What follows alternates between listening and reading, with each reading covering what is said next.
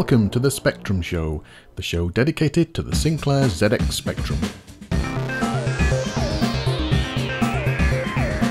Coming up in this episode, we go back to May 1985 to get all the latest Sinclair news and top selling Spectrum games. We compare Spectrum clones for one of the all time great arcade classics. We review some older games, we take a look at a newer title, and end the show in Type In Corner. But before we begin, the show is two years old this month. Wow, yeah, two years. To celebrate, I have put together an anniversary special, which should be up very shortly, if it isn't already there, so be sure to check it out. Right, it's back to May 1985.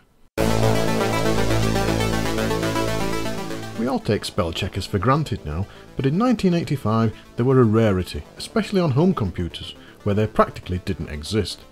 Tasman, makers of the excellent Tasword word processor for various computers, have released a spell checking program that will allow users of its software to check and correct their spelling.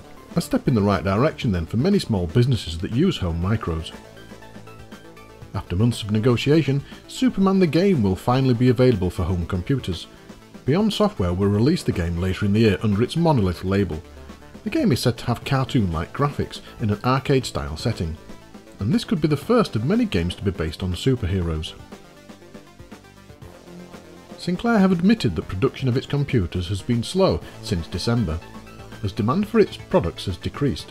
They are said to be disappointed, and even with a turnover of more than £100 million, they say they are looking for new ways to keep the cash flowing. They hope that the new flat screen TV will help, but as the 16 bit machines begin to appear, could the 8 bit micros be under threat? There are rumours that Sinclair are to launch a new, enhanced version of the Spectrum in the near future. The Spectrum 128 will feature 128k of bank switch memory and come in the same style keyboard as the Plus machine and the the QL. The machine will also have enhanced sound, but Sinclair are staying very tight-lipped about many specifications. As time marches on, technology never stands still, and there are hugely more powerful computers about to be released. Could this spell the end for Sinclair, or do they have some secret project up their sleeves? Atari are to launch the Atari 520 ST, with a built-in 1MB disk drive and hundreds of colours displayed on a high-resolution monitor or TV screen. Game companies are sure to jump quickly, possibly even abandoning the 8-bit machines. The one thing that could hold off the exodus is the price. Atari are asking £699, much more than the Sinclair machine. But for how long? And that was the news, and now onto the top selling games. Coming into the charts this month include Gyron, the maze strategy game from Firebird. Everyone's a Wally, the continuing saga of Wally Week from Microgen. Chuckie Egg 2, the follow-up to the platform game from A&F.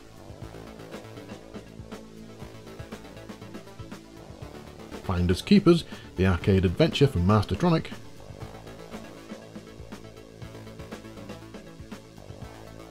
Death Star Interceptor, the Star Wars-like game from Interceptor Software, and Gremlins the Adventure game, based on the film from Adventure International.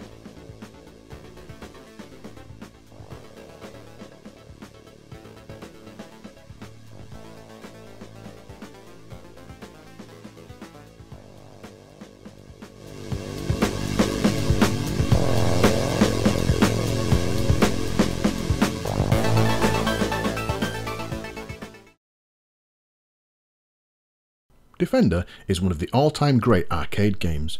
Released in 1980 by Williams, the hectic pace, unique gameplay, iconic sounds and difficulty place this high in the list of favourites for many arcade players worldwide. The idea is simple. Save the planet from invading aliens who are set on abducting humans. Defend the humans, because once they're gone, all hell breaks loose and the game switches up a level, making survival almost impossible. Graphics wise, the game was pretty simple. Horizontal scrolling wireframe landscape that you could fly through, and a mixture of different aliens to shoot.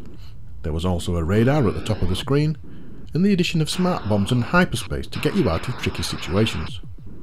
On looks and gameplay, home conversion should have been easy, but many tried and failed to recreate the arcade feeling, mainly down to speed issues.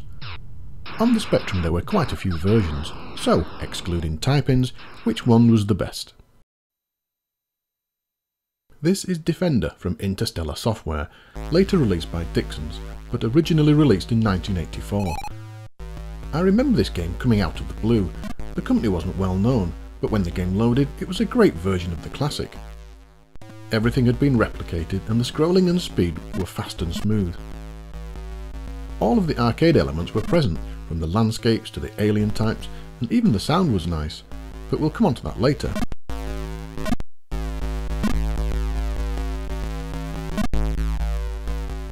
The radar was easy to read and accurate, and the complement of smart bombs were good. The player ship explosion, one of the best features of the arcade, is replicated very well too, although I did get to see this a little bit too often. The only bad thing I can say about this game is the sound.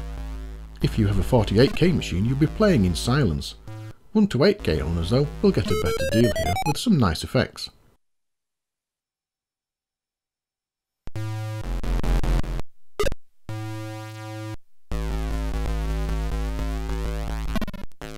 Control was via keyboard, interface 2 joystick or Kempston, and all was excellent and responsive. The inertia of the ship was spot on, and really this is going to take some beating. As you can see I'm not the best Defender player, but I enjoyed this game, and my attention was on playing rather than dodgy graphics, jerky movement or poor game mechanics. This really was a joy to play.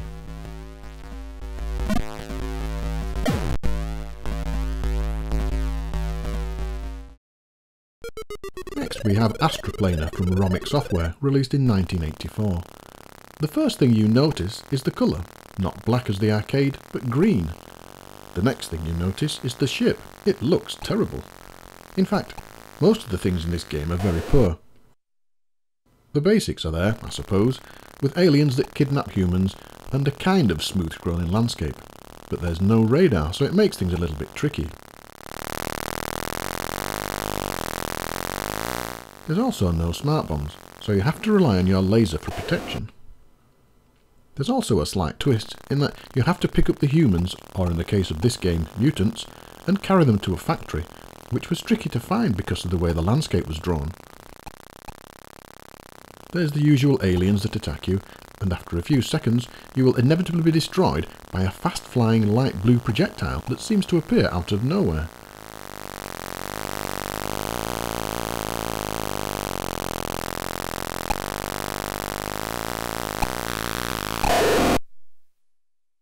Strangely, you can fly through the aliens, but not their lasers or bombs. The sound is very irritating as well. In fact, the whole thing annoys to the extent that you just want to turn it off and throw it in the bin. A terrible game.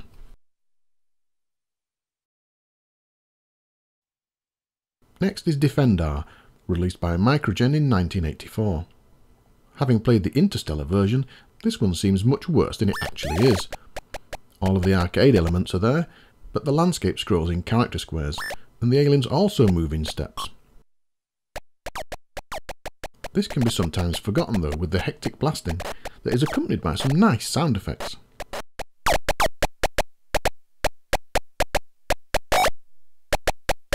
The aliens are all present, but all of the alien types appear on level 1, rather than introducing them at later levels. The firing isn't as pretty as the arcade game, or in fact the Interstellar version, and can often seem to pass straight through aliens without killing them.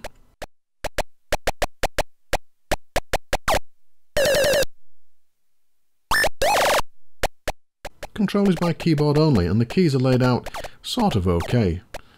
Response is good, but the reverse just flips the ship instantly, which can be a little confusing in mid-battle and can place you right next to an alien, meaning instant death. The player ship explosion is also a bit of a letdown, which seals an average attempt by Microgen that, although plays well, is not arcade perfect.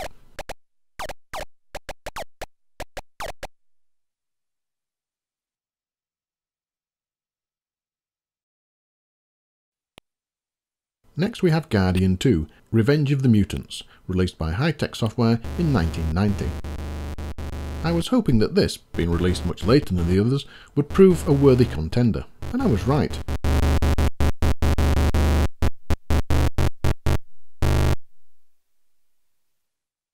The keyboard layout takes a bit of getting used to, but once you're comfortable, the game just begins to flow.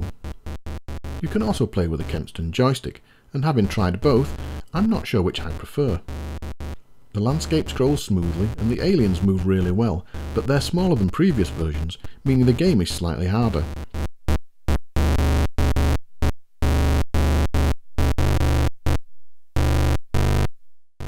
The inertia is just right too, and the reverse is probably the best implementation so far. Nice and smooth and easy to follow, making for a great gaming experience.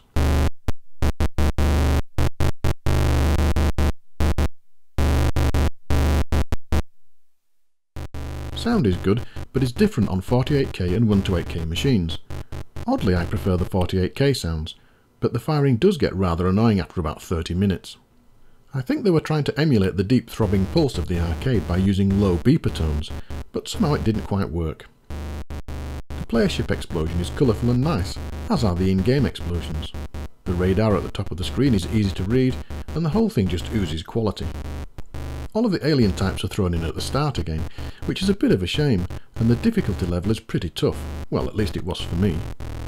Overall then, another great conversion.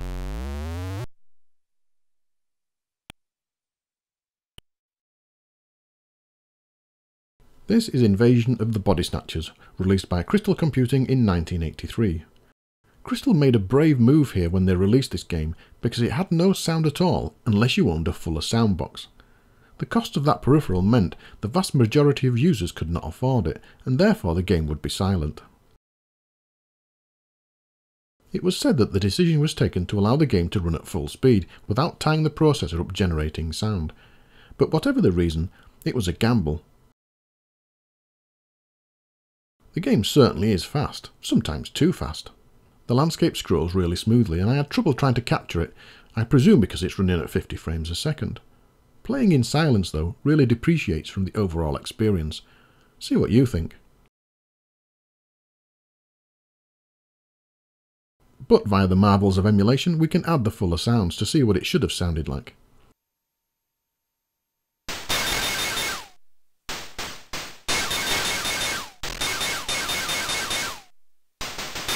The sound is not, in my opinion, as good as some of the other games that don't use the Fuller sound box, so draw your own conclusions.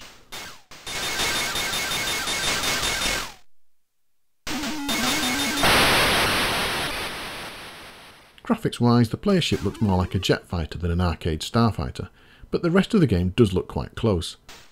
The colour scheme is a bit drab, and the radar at the top of the screen takes up the full width, but is easy to use.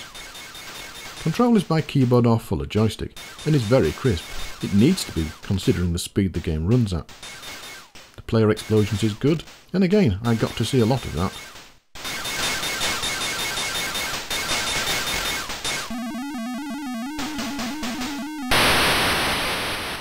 Gameplay is close to the arcade. I just wish I was a better player.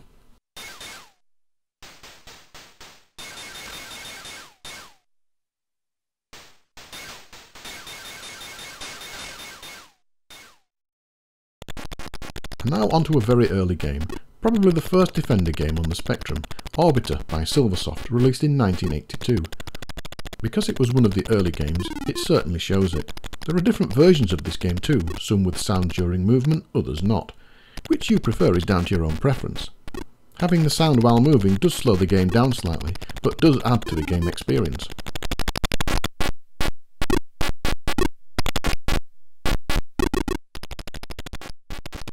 The scrolling is character based and all the aliens suffer the same problem.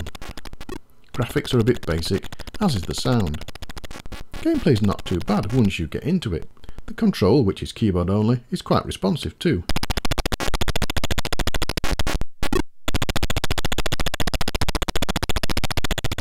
The player explosion though is very poor, your ship just wobbles about for a few seconds. The radar is also tricky to read. If I had played this game first, I would have said it was a good game, but I didn't, and having seen what can be achieved by other software companies, this lowers the game's score. We do have to take into account though that this was the first Defender game and released very early, in fact it was released before the machine was available to the public. The author wrote it all on paper and entered the hex into the Spectrum once he'd got it.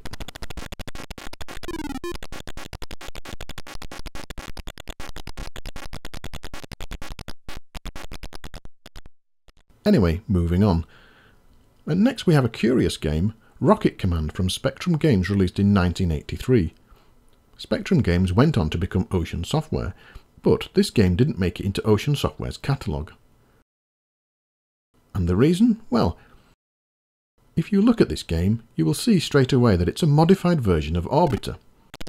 The graphics are slightly different, and the radar's been removed, but apart from that, everything's really familiar, even down to the keyboard layout.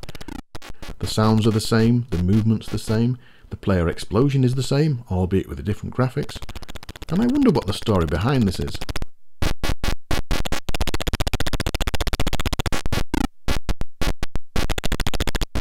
I checked with the author of Orbiter and he says he knows nothing about this game. Looking at the release dates, Orbiter was released first in around October 1982 and this game was released in January 1983 so it came out after the Silversoft version. So you can make your own mind up there, it's all a bit of a mystery.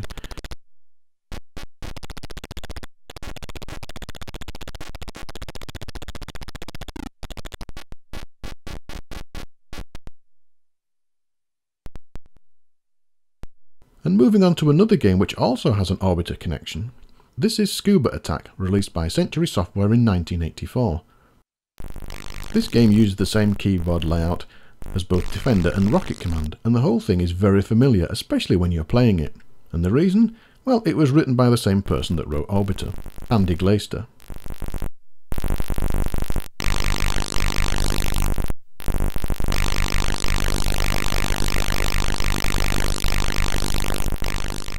I assume that this is an updated game engine, and to avoid any similarities the scenario was moved underwater. Despite this, the game plays very well though, and as you can see, it's obviously a Defender variant. Instead of defending humans, you have to defend divers, and these drop down from the ship randomly. The aliens are replaced by giant jellyfish. The sound and graphics have been improved, but I can't help thinking I'm just playing an updated version of Orbiter. It certainly plays better than the original, but everything still moves in character jumps, although the action is fast and furious. Not a bad game then, but not one of the best. This is Star Blitz from Softek, released in 1984. This game had two versions on the cassette, one for normal Spectrum sound and the other for users of the Fuller box. The one currently playing is using the Spectrum sound.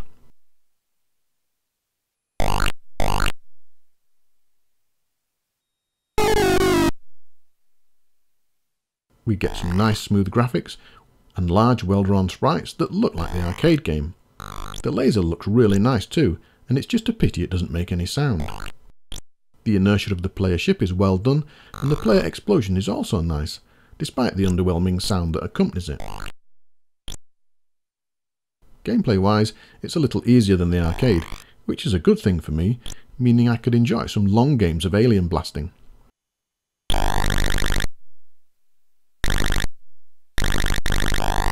The arcade elements are all there with different alien types and human abductions. The scanner is easy to read and the action is fast enough to be challenging. The only thing that lets it down is the sound. So what's the Fuller version like?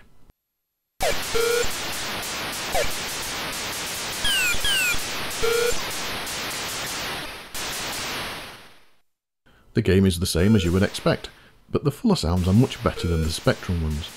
The laser now makes a sound when you fire, and there are some really nice spot effects.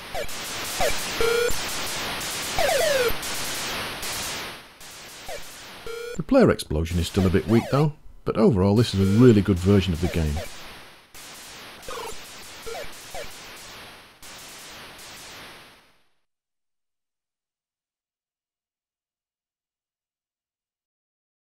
And now on to our last game, Stop That There Alien by David Swan, released in 1984. This is a bit of a strange game. It's obviously written in BASIC and suffers all the usual effects of that. You can only move up and down, and you can't switch directions. There's no radar or smart bombs. This is just a poor game in every respect, but it's a bit of fun to end the tests on.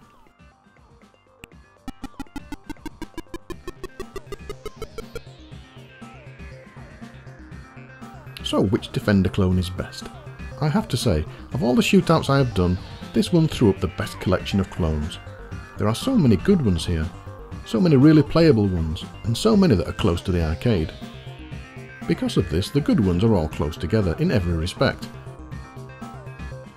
So the ones to choose from are Defender by Interstellar Software, Guardian 2, Invasion of the Body Snatchers, and Star Blitz. Invasion of the Body Snatchers has to lose points for not having sound on normal machines, as does the Interstellar version. So that leaves us with just two, Guardian 2 and Star Blitz. Whichever the winner is, I'll let you decide.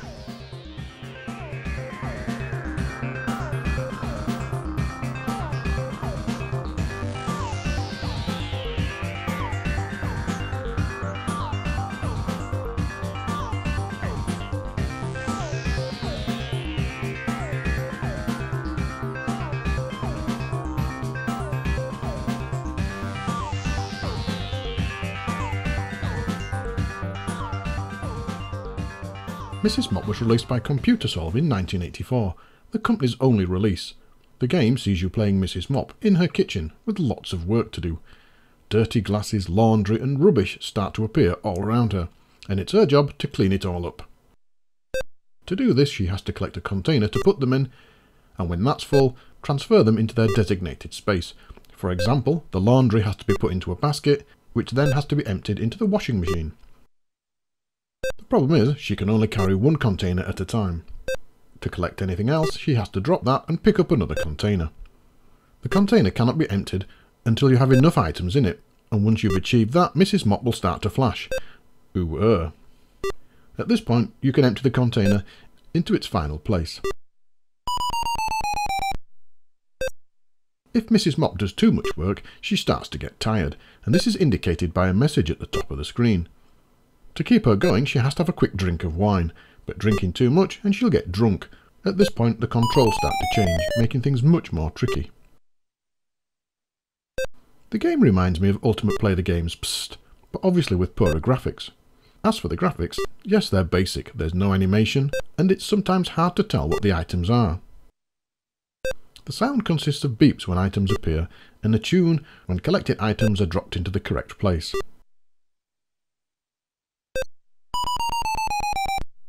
Control is by keyboard or joystick, and is sometimes far too fast, meaning you miss items. Level 1 just has two items to collect, cups for the sink and rubbish for the bin. As the levels increase, more items are added, and this is where things start to get tricky.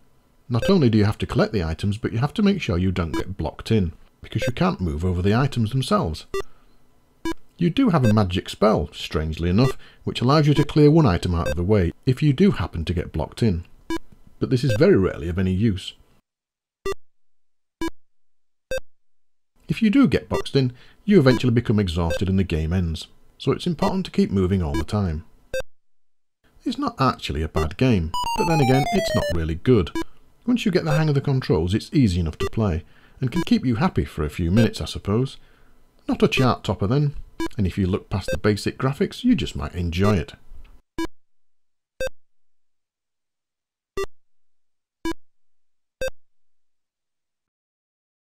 This is 3D Star Strike. Released in 1984 by Real-Time Software, this game fulfilled the player's requirements for a good Star Wars game on the Spectrum. The arcade machine was a hit, and the home market was crying out for a conversion. This game features all the scenes from the arcade, and it's surprising that the lawyers didn't come calling. The first stage is in space, fighting off TIE fighters. It's important to shoot their missiles, as it is to shoot them. You have to protect your shields to get very far in this game.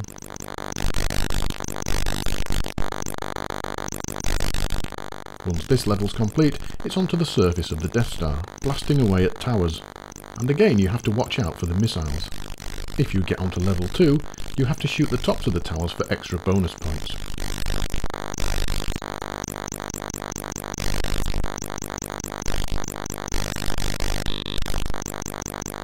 And the final stage is the trench scene, dodging the structures, shooting the laser turrets and avoiding those missiles again.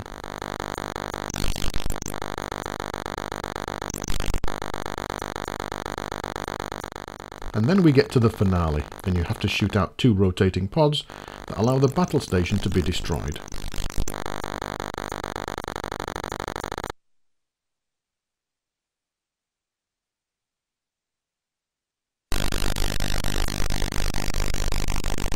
The vector graphics are fast and smooth and give a really good feeling of movement.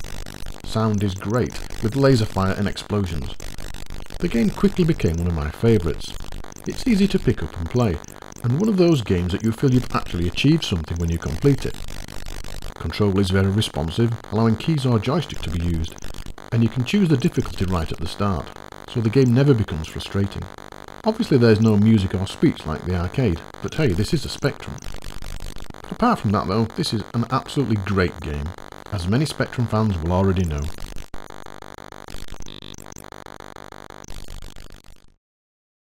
Tubba is the name given to you, a pesky kid always getting into trouble at school and always annoying the teachers. This year though, they have had enough.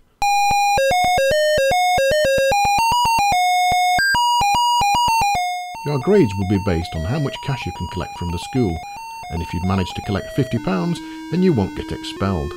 Talk about bribery. So what we have here then is a platform game with a twist. After a very annoying tune, the game begins, and as most school kids have today, you're equipped with a jetpack. You can fly around avoiding things and trying to locate the money, which is scattered around in one-pound locks.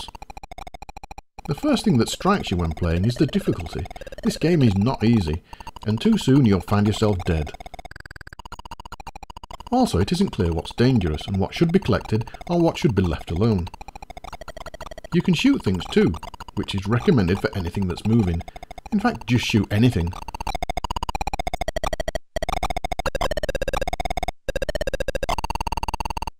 It's like Jet Set Willy crossed with Jetpac and the difficulty turned up to 11. I struggled to get very far, and often found myself dead for no reason I could work out. Very frustrating. The background graphics sometimes mask the killer sprites too, and sometimes things can pass through walls to kill you.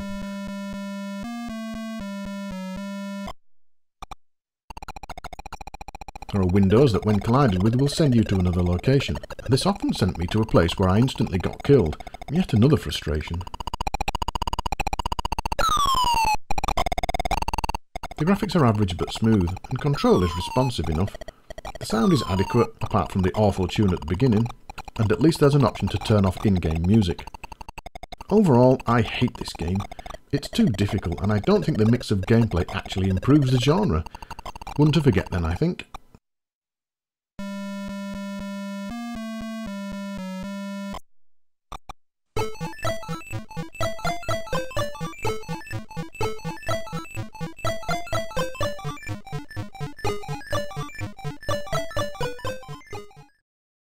There aren't many true role-playing games for the Spectrum, and certainly not very many that use the time-honoured format of the early Zelda or Ultima games. Released in 2013 by Retroworks, Los de Brunilda is a rare and beautiful thing. A perfectly formed and immersive role-playing game that does everything right.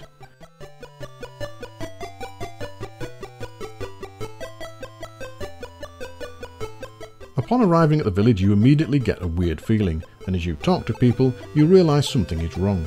The game is very much story driven, which takes you into the game, and is something that so very few Spectrum games manage to do.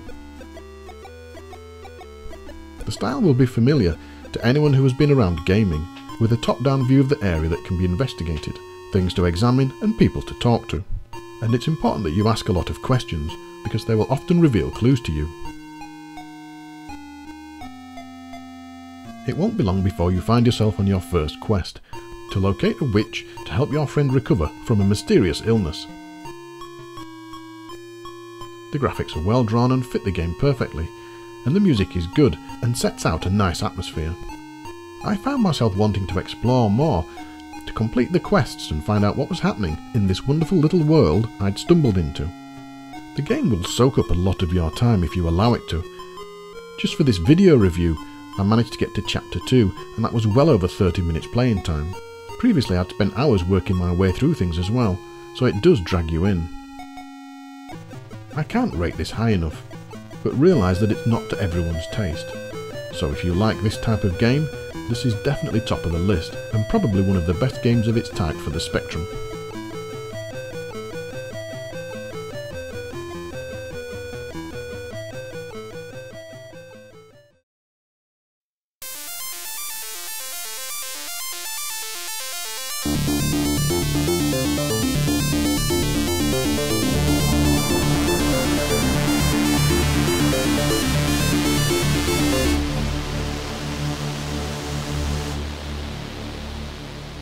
Month's game is Pinball by Stephen Bennett that appeared in an October 1983 issue of Popular Computing Weekly.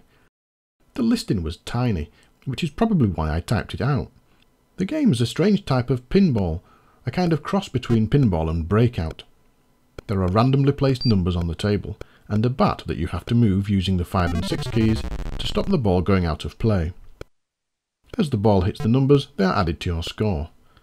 It can be a little tricky to line up your bat, and it seems that there are some collision problems. But it's not actually bad to play. It certainly passes a few minutes, and it's an ideal candidate for modification. This is the type of game that you would pick apart to see how it worked, then add extra bits of your own. Considering the size of the listing, this isn't bad, and it's probably the first time it's been seen since it appeared in the magazine.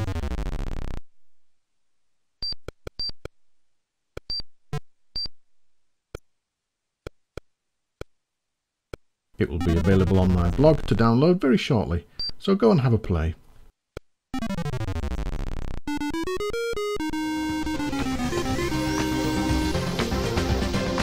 Well, that's the end of this episode. I hope you enjoyed it, and thanks for watching. You can get in touch by using the details on screen. See you soon.